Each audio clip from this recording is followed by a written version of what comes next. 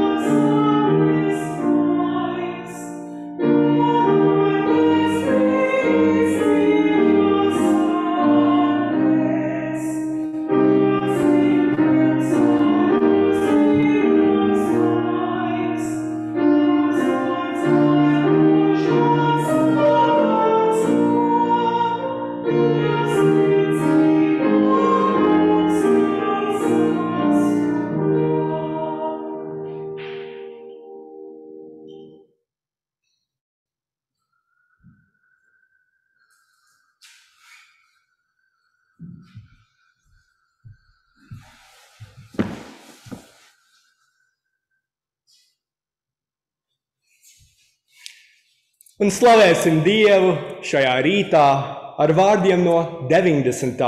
salma. Draudz lūdzu atbilda vārdiem biezā drukā. Māci mums mūsu dienas tā skaitīt, ka mēs gudru sirdi dabūjam.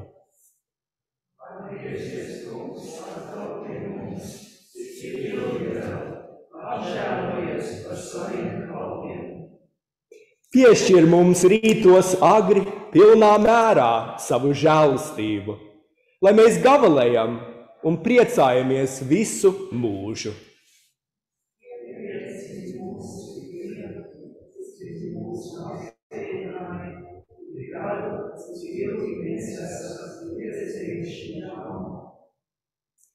Arī redzām uz saviem kalpiem savus darbus, un liec saskatīt savu godību viņu bērniem.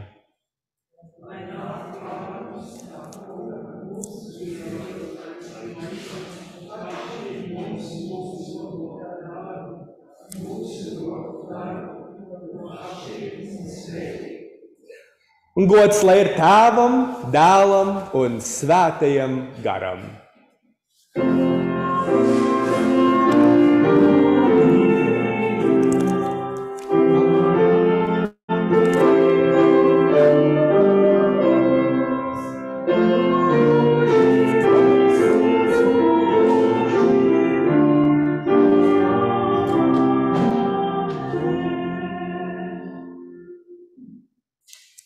svētīgs ir tas, kam pārkāpumi piedoti un grēki izzēsti. Tāpēc zemosimies Dievu priekšā visi no sirds tā lūgtami. Tev visas sirdis atvērtas, visas vēlmes zināmas, tev apslēpts nav nekas.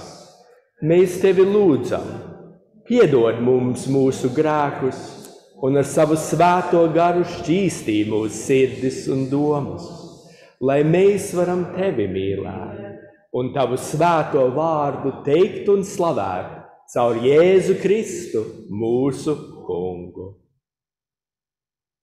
Un kad nu jūs savus grēkus nožēlodami, ticībā iepriecināties ar mūsu pestītāju Jēzus Kristus nopelnu, tad sekojiet Kristus pavēlē.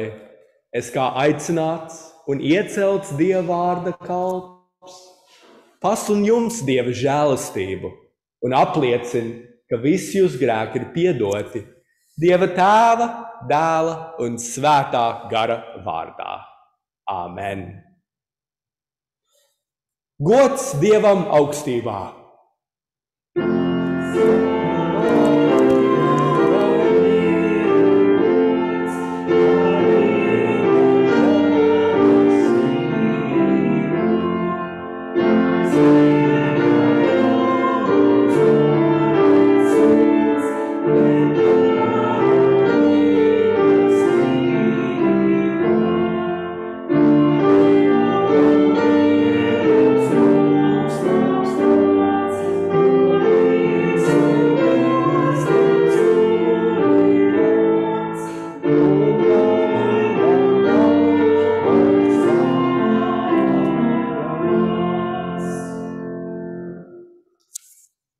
Tas kungs, lai ir ar jums!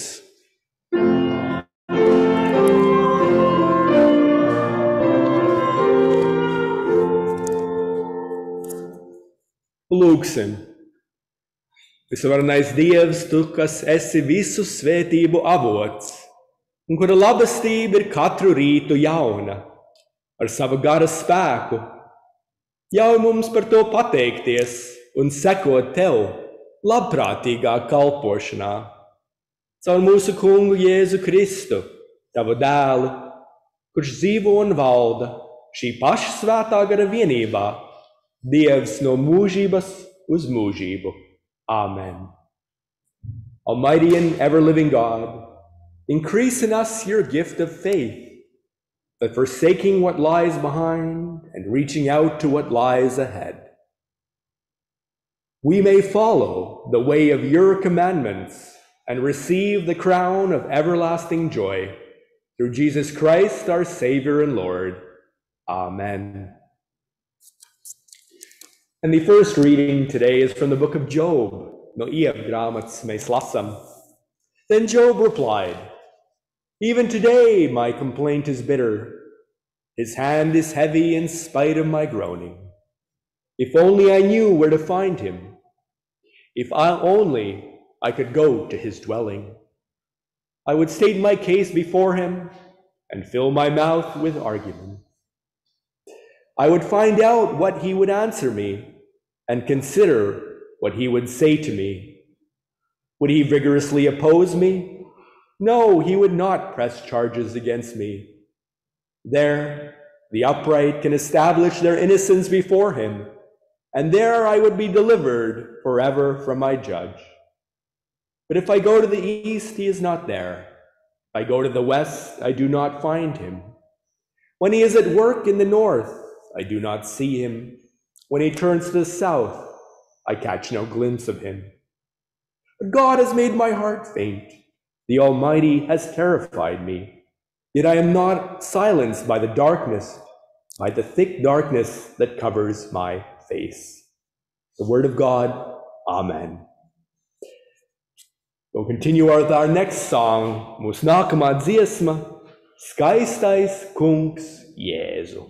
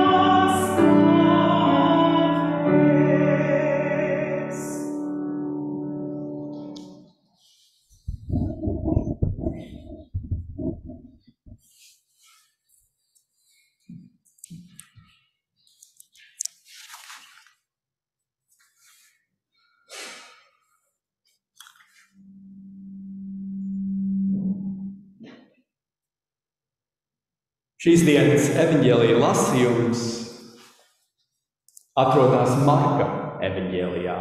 Mēs lasām desmitā nodaļā. Kad viņš izgāja uz ceļa, viens pieskrēja un ceļos nometies, viņa priekšā lūdza: Labais skolotāj, kas man jādara, lai mēs iemantotu mūžīgo dzīvību? Un Jēzus tam sacīja: Kādēļ tu mani sauc par labu? Neviens nav labs kā vienīgi Dievs. Baušļus tu zini, nenogalini, nepārkāp laulību, nezodz, nedod nepatiesu liecību, nekrāp, godā savu tēvu un māti. Bet tas viņam skacīja skolotāji. To visu esmu pildījis kopš savas jaunības. Un Jēzus viņu uzlūkojas, iemīlēja to un sacīja: Vienas lietas tev trūkst, ej un pārdod visu, kas tev ir, un izdala nabagiem, tad tev būs manta debesīs. Nāc un seko man! Un viņš, sadrūms par šo vārdu, aizgāja nomākts, jo viņam piederēja liela īpašuma. Uzlūkojis visapkārt savus mācekļus, Jēzus tiem sacīja: Cik grūti bagātie ies Dieva valstībā, un mācekļi bija satraukti par viņu vārdiem. Un tad Jēzus vēlreiz tiem sacīja: Bērni, cik grūti ir iet Dieva valstībā! Vieglāk kamielim iziet cauri adatas aci, nekā bagātam iet Dieva valstībā. Tie sabijās vēl vairāk un runāja savā starpā Kas tad var tikt glābts? Un Jēzus tos uzlūkoja sacīja: Cilvēkiem tas nav iespējams, bet ne dievam, jo dievam visas lietas iespējamas. Un tad Pēters ierunājās: Redzi, mēs visu esam atstājuši un esam tev sekojuši. Un Jēzus sacīja: Patiesi es jums saku, nav neviena kas atstājas māju, vai brāļus, vai māsas, vai māti, vai tēvu, vai bērnus, vai tīrums manis un evaņģēlīja dēļ, nesaņemt simtkārtīgi jau šajā laikā mājas, un brāļus, un māsas, un mātes, un bērnus, un tīrums, kaut ar vajāšanām, un nākamajā laikā mūžīgo dzīvību. Daudzi pirmie būs pēdējie, un pēdējie pirmie. Āmen!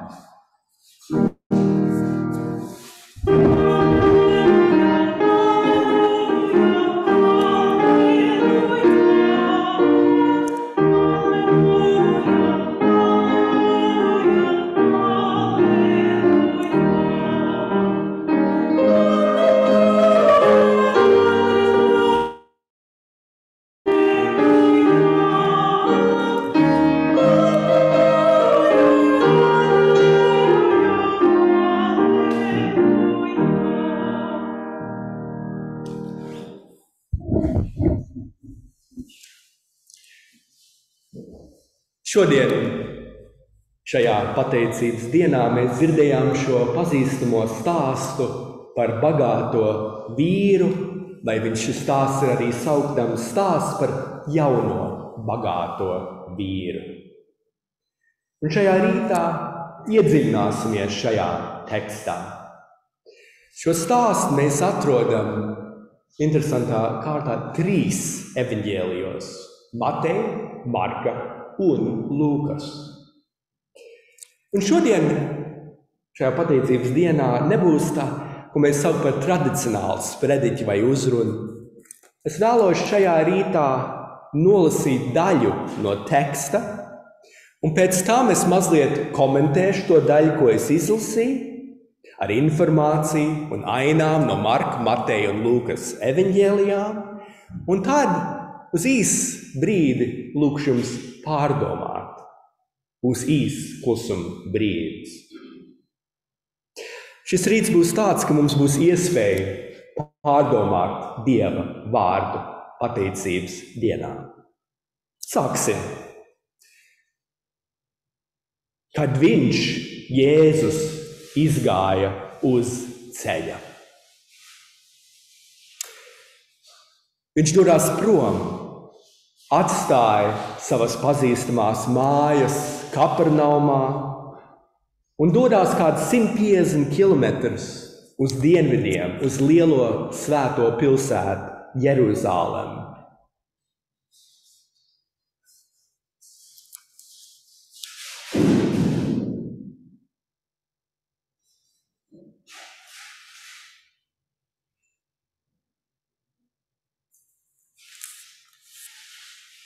Un nākamais vārds, par ko es gribētu runāt, ir viens. Mēs saprotam, ka šis viens šajā stāstā ir bagāts vīrs.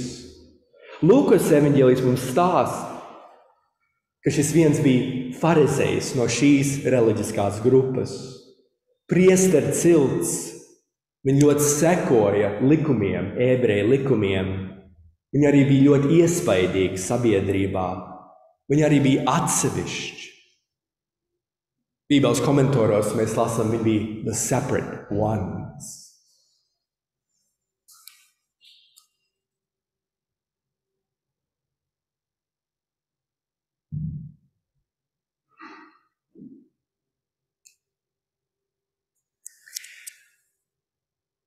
Pieskrēja un ceļos nometies viņa priekšā. Mēs redzam, ka šis viens, ka vīram bija interese Jēzu. Viņš skrēja un nometās Jēzus priekšā ceļos.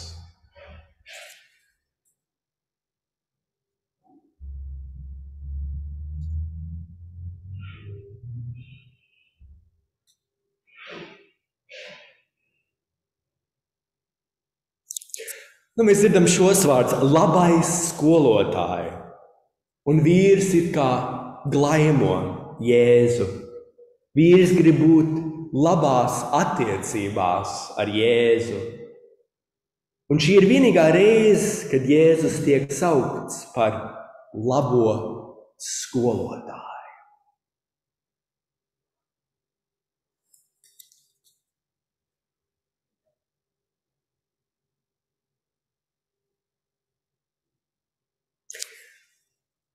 Tad šis jautājums, kas man jādara, lai es iemantotu mūžīgo, kurš iemantos mūžīgo dzīvību? Kas man jādara manā dzīvē? Šis, protams, ir liels jautājums mums, kā kristiešiem, gan man, gan jums.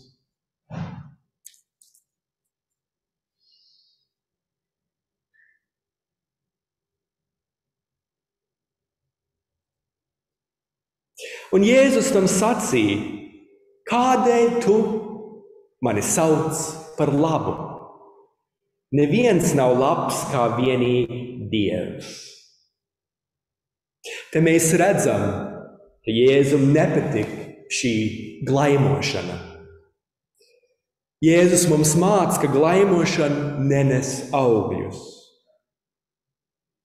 Jēzus šajā tekstā un evanģēlijā mums māca, lai fokusēties uz Dievu, lai Dievs jēzus būtu centrā.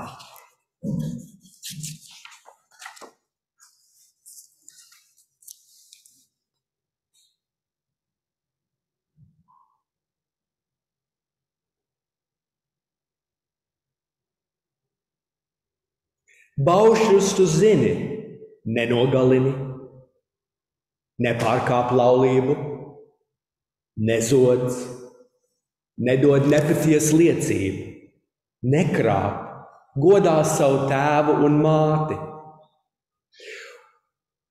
Pirmā daļā no šiem baušiem, ko Jēzus noskaita, attiecās uz mūsu attiecībām ar citiem cilvēkiem.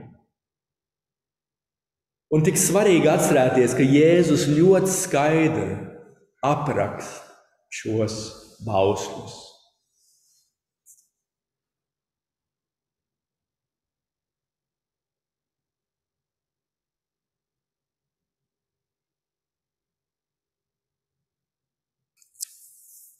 Un atbild skolotāji, to visu es esmu pildījis kopš savas jaunības. Un šis jaunais vīrs it kā deklarē, ka viņš ir godīgs ka viņam ir laba slava, ka viņš ir, ko mēs saucam par krietnu vīru. Dzīvoja labu, godīgu dzīvi. Atcerieties, viņš bija cilvēks. Viņš ir kā jūs un es.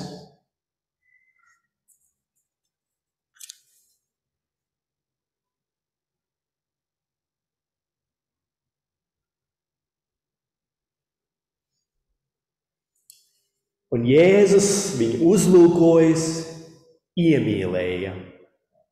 Un šis ir ļoti svarīgs punkts mūsu tekstā. Jēzus izrādīja līdzjūtību pret šo vīru. Viņš viņu mīlēja, un Jēzus negribēja viņu nekādā veidā pazemināt.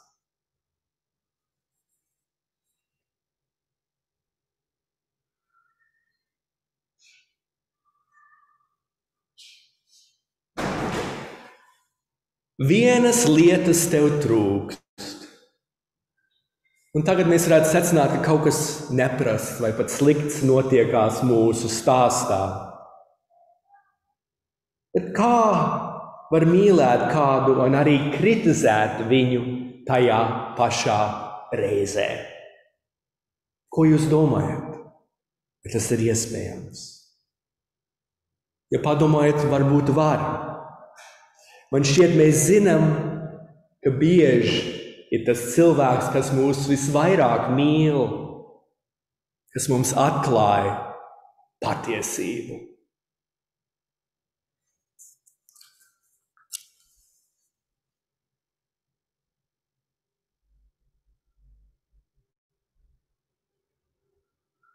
Ej un pārdod visu, kas tev ir, un izdali nabagiem, tad tev būs manta debesīs.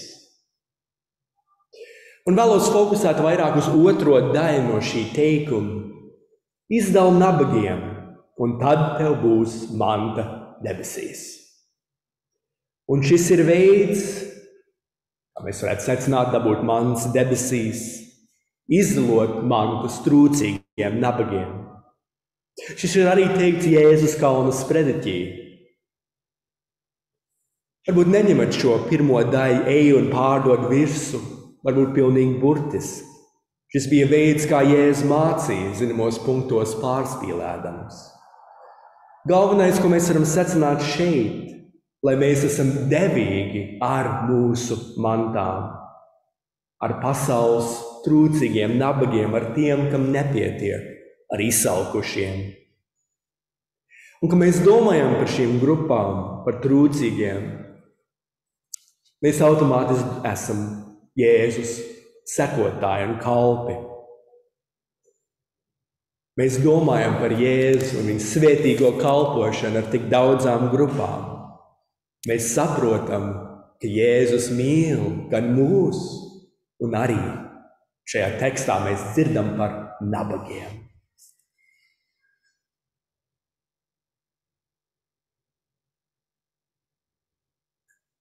Un nāc un seko man. Jēzus šajā stāstā aicina šo vīru sekot viņam. Un viņš arī mūs aicina šodien, šajā dievkalpojumā, sekot viņam. Viņš vēlās, lai mēs esam viņa mācekļi. Viņš vēlās, lai mēs esam viņa sekotāji, un ka Viņš ir mūsu kungs. Tik svarīgi atcerēties, ka viss, kas mums ir, ir dāvināts no Viņa. Un Viņš vēlās, lai mūsu laiks, mūsu nauda, mūsu sirds kalpo Viņam tādā veidā, kas rada mūsu kungam godu un slavu. Āmen!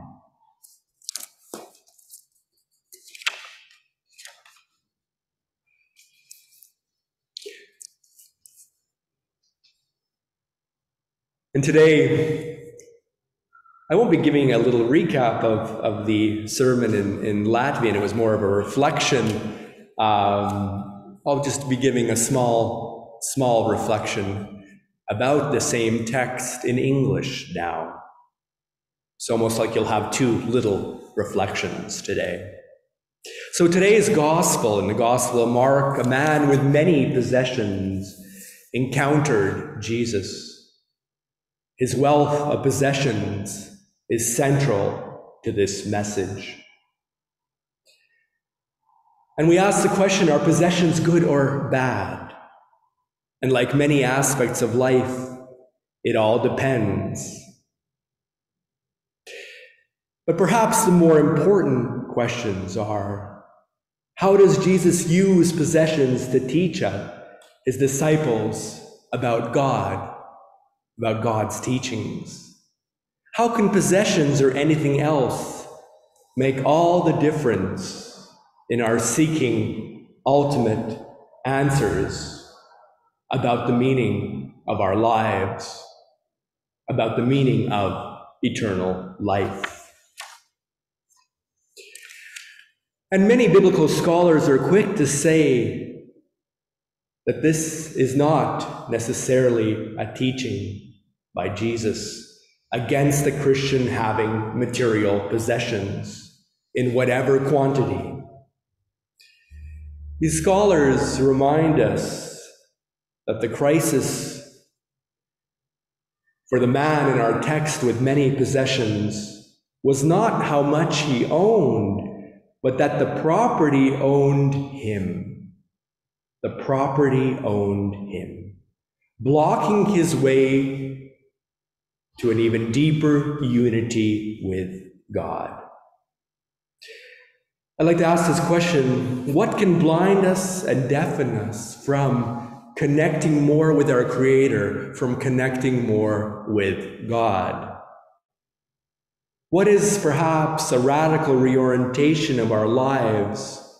What must we do to more deeply follow Christ? What is that that stands in our way from becoming what God has intended us to be and live our lives in the way He has intended us to? What do we perhaps need to give up in order to gain what is much more valuable? Perhaps it is something like greed or prejudice or ignorance pride, anger, or the control of others, or the inability to acknowledge our wrongdoings, our sins, or hurting others, or acknowledge the things that we have left undone that we are afraid to touch. In my studies in Luther Seminary, I took courses in St. Paul and there was once a Lutheran bishop visiting, and the Lutheran bishop was actually from Africa. And I remember him declaring to this audience in St. Paul, Minnesota, that it was much easier for the Christians in his diocese of Africa to truly know God than for those living in the United States. Glad I'm using this example since I won't offend any Canadians today. but it's similar.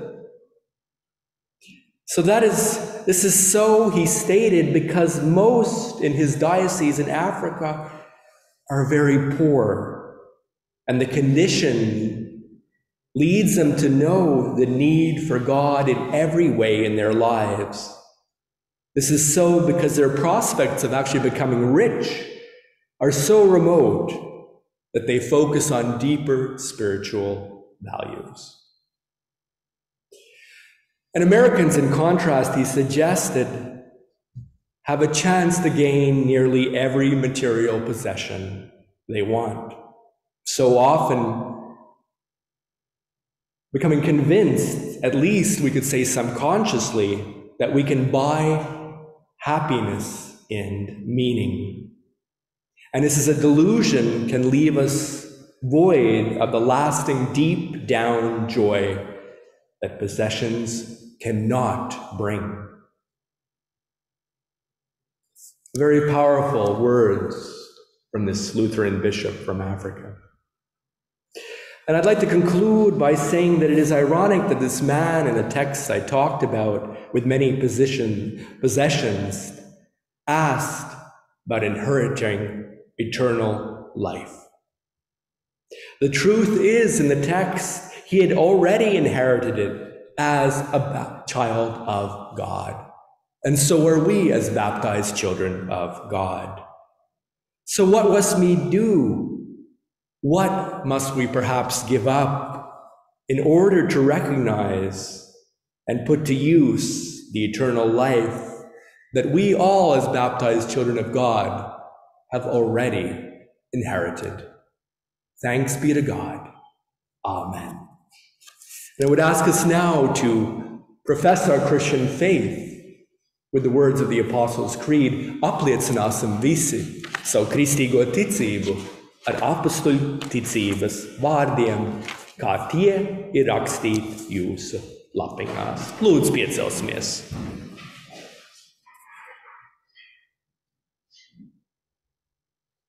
Es ticu uz Dievu Tēvu, visu valdītāju, debesu un zemes radītāju, un uz Jēzu Kristu, Dieva vienpiedzimušo dēlu, mūsu kungu, kas ieņemts no svētā gara, piedzimis no jaunavas Marijas, cietis zem Poncija Pilāta, krustā sists, nomiris, aprakts, nokāps ellē. Trešajā dienā augšām cēlies no mirušiem, uzkāps debesīs, sēdies pie Dieva, visu valdītāju tēvu labās rokas, no kurienes viņš atnāks tiesāt dzīvos un mirušos. Es ticu uz svēto garu, vienu svētu, kristīgu baznīcu, svēto sadraudz, grēku piedošanu, miesas augšām celšanos un mūžīgo dzīvošanu. Āmen. Lūdzu, apsēžieties un dziedāsim mūsu, klausīsimies mūsu šo skaisto nākamo dziesmu. Vairo mums ticību. thank you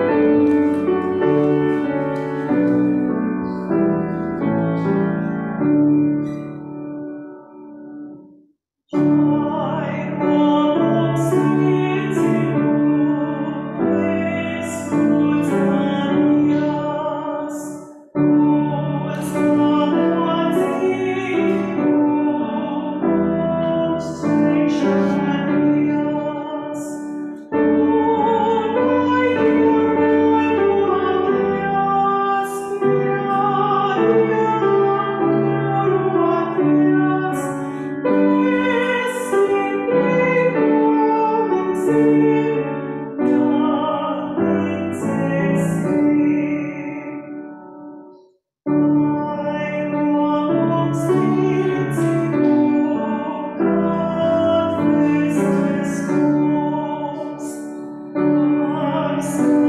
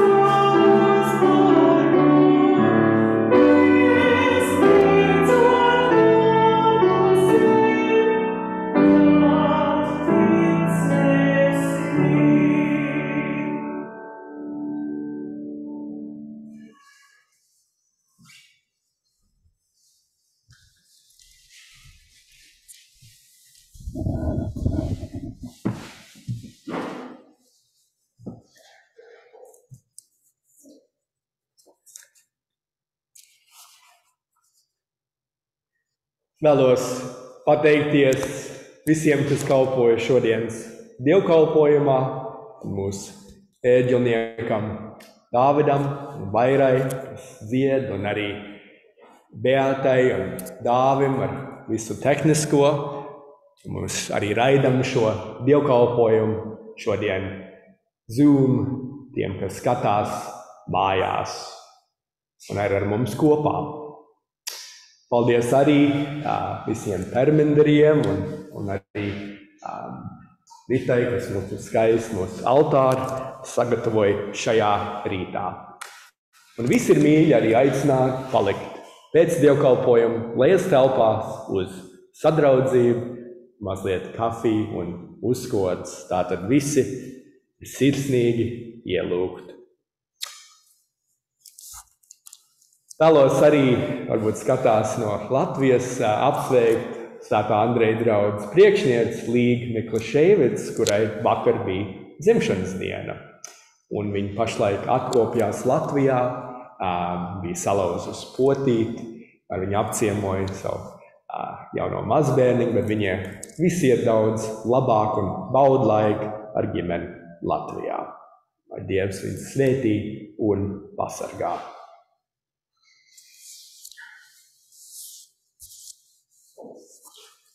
Un, protams, nākamais dievkalpojums ir nākamā svētdiena, 17. oktobrī, šeit Jāņa baznīcā. Un to vadīs mans amatbrālis mācītājs Girts. Gan būs šeit, protams, klātienē, un arī turpinam raidīt Zoom visus dievkalpojumus arī internetā. Lūkšu mums tagad lūgt draudzes lielā lūkšanā. Lūdzu, pieceļieties kājās!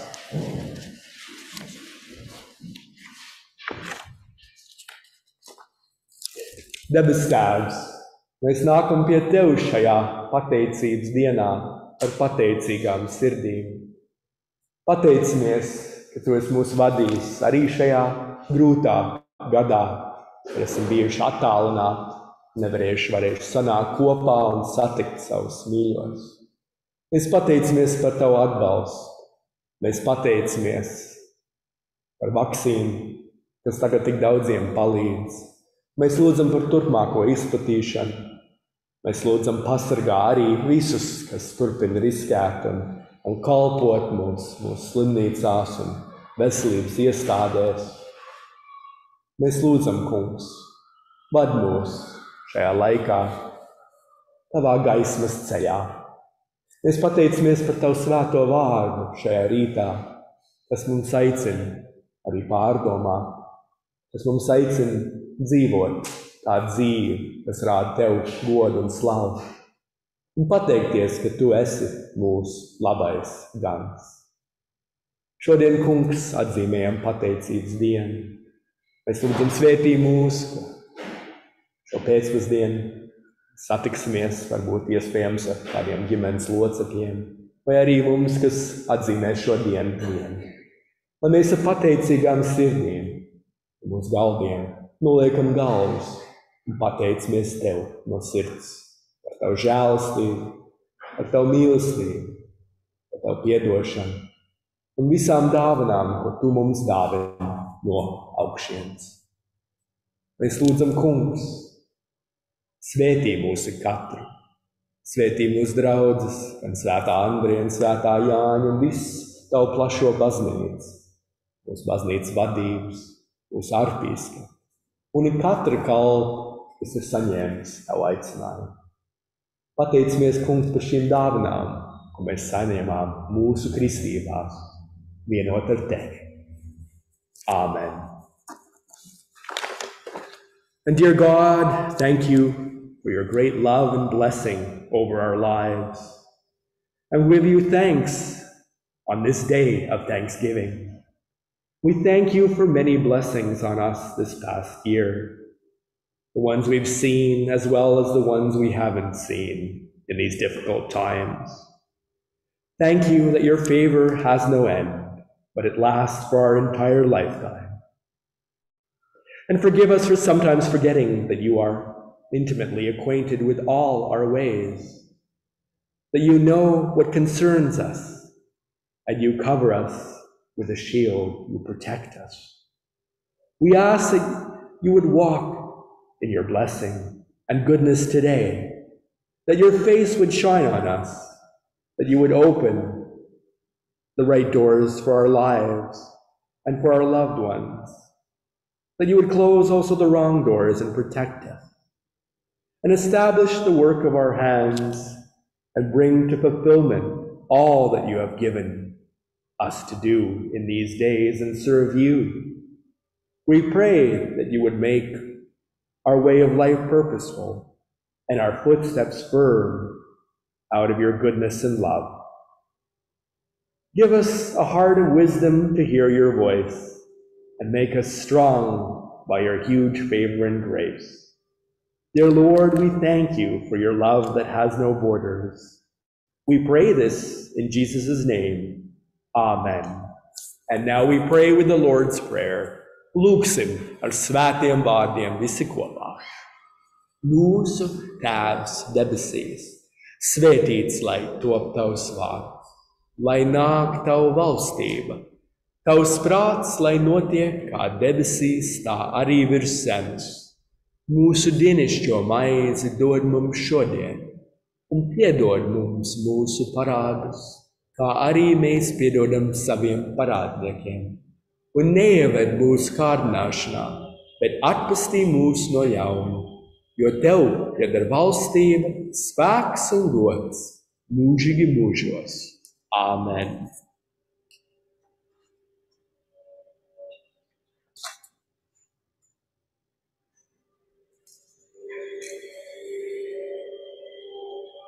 Almighty God, Father, Son, and Holy Spirit, bless you now and forever. Un tas kungs, lai tevi svētī un lai tevi pasargā, tas kungs, lai apgaismo savu vaigu pār tevi un lai ir tev žēlīgs.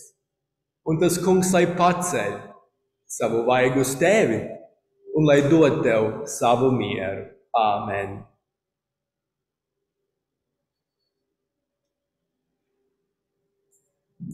Jūs varat apsēsties, un mūsu pēdējā dziesma ir dievišķīgā mīlestība.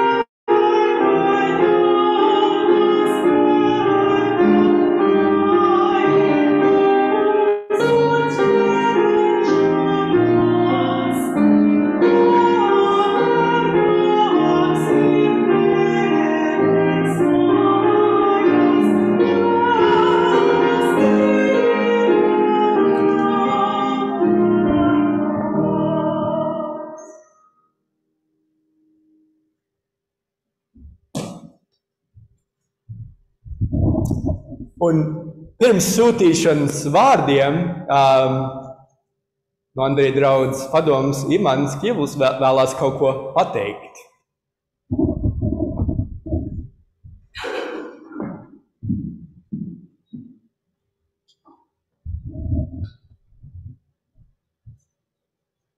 Šodien dāvanies dodot mācītājam Dagam īpaši sveicienu un dāvana no svētā Andrejas draudzes.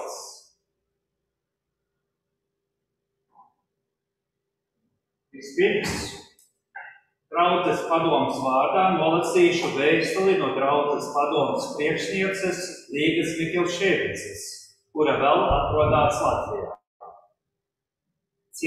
Cienājamais mācītāji Dāvana. Šodien, kad atzīmējam pateicības dienu, izsakot Dievam pateicību par bagātību, rudens ražu un visu labu, ko esam saņēmuši.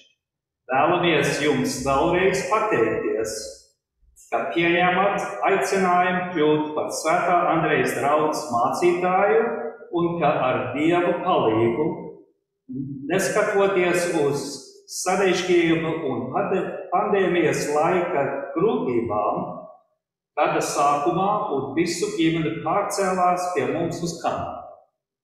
Svētā Andrejas draudzes locekļiem rūp jūsu un jūsu ģimenes labklājības un nākotne.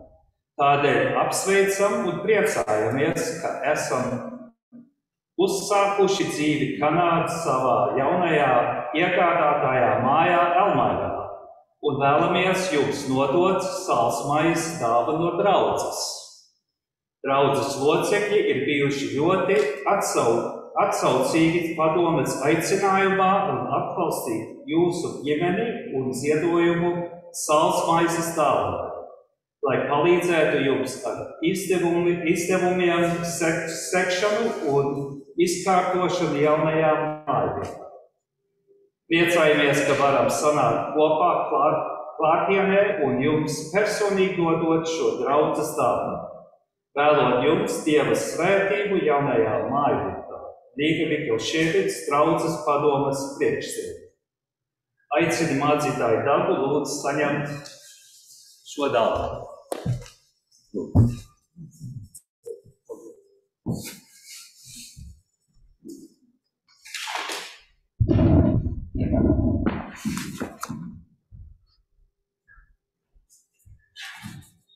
Paldies, um, Imants, no, no padomus, un, un paldies visiem um, par šo ļoti lielo atbalstu un, un, un dāvanu. Tas tiešām nebija, nebija sagaidīts, bet cilvēki bijuši tik atsaucīgi. Un, un, jā, šis mums ļoti aizkustināja un, un palīdz tiešām mums iekārtot jauno māju, kur, kur daudz bija jāpadara, jālabo, jākrāso nu, pat pagājušajā nedēļā, kā piemēram, arī bija jāieliek jauna veisa mašīna. Lietas notiek ar jaunām mājām un daudz, daudz izdevumu. Tātad mēs esam ļoti pateicīgi par šo mīlestību, kas mums ir rādīta.